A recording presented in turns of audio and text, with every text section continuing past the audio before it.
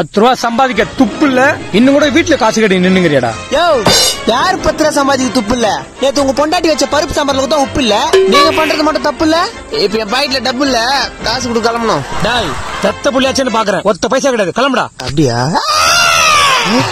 என்னாச்சு உனக்கு? ஆத்தா நான் உனக்கு என்ன குறை வச்சா ஆத்தா?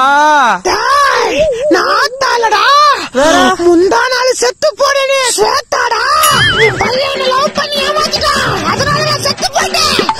ஏமாத்தின என் பையன். பீச்ல பிரியாணி வாங்கி தரேன்னு சொல்லிட்டு வெறும் சுண்டல வாங்கி கொடுத்து ஏமாத்திட்டான்டா கேட்டா எங்க அப்பா காசு கொடுக்கலன்னு சொல்லிருக்கான் டாய். ஐயோ கண்டுபிடிச்சிட்டேன். உன் பொண்டாட்டி எங்க? இதுக்கு சிறுவாபுரியில சின்ன வீடு.